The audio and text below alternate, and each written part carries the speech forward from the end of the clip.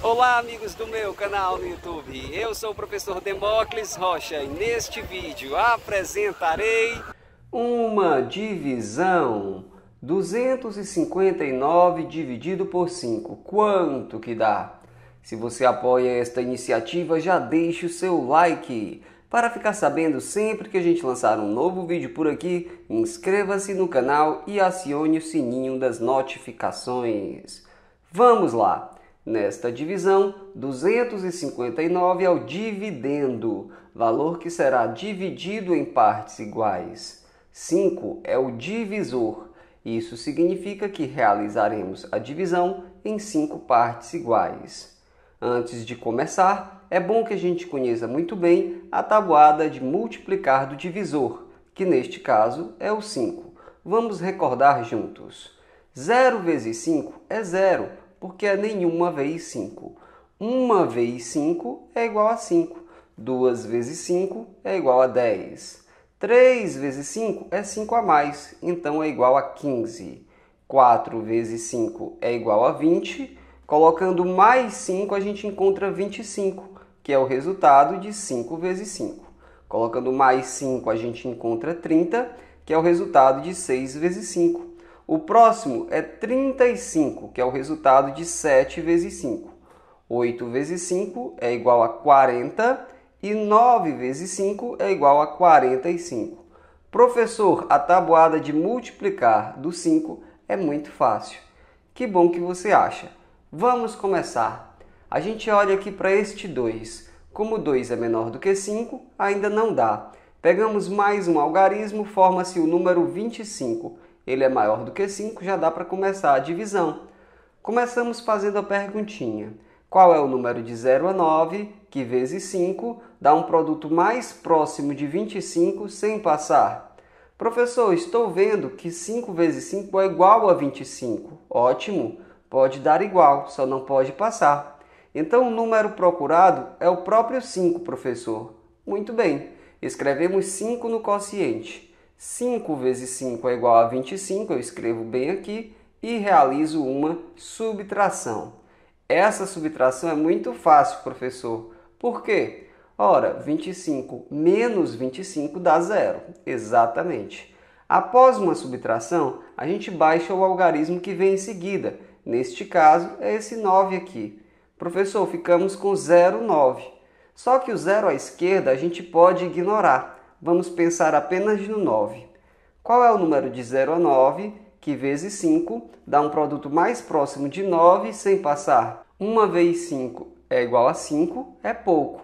2 vezes 5 é igual a 10, passa. Então vamos ficar com 1, né, professor? Exatamente, pois queremos que o resultado seja próximo de 9, mas sem passar.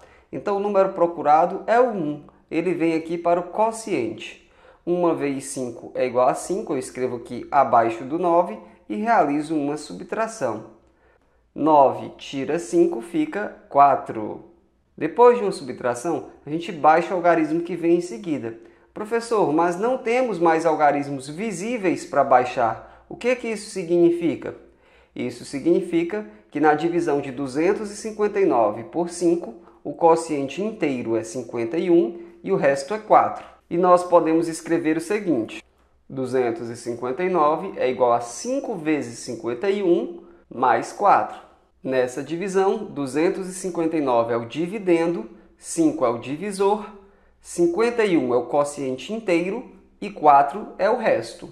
Por exemplo, se você quiser dividir 259 livros igualmente entre 5 escolas, cada escola receberá 51 livros e haverá uma sobra de quatro livros, pois quatro livros não podem ser divididos igualmente entre cinco escolas. Professor, mas se eu estiver resolvendo outro tipo de problema e quiser continuar com a divisão? Aí você coloca a vírgula no quociente e segue baixando zero. Baixando zero, forma-se aqui 40. Então a gente faz a perguntinha.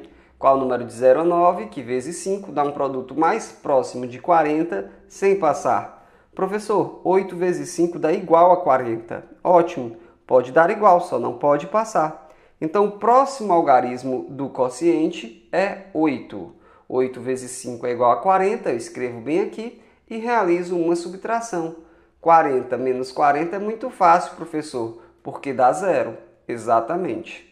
Agora, como não sobrou mais nada, a gente pode encerrar. Nós podemos até dizer que o quociente exato da divisão de 259 por 5 é 51,8.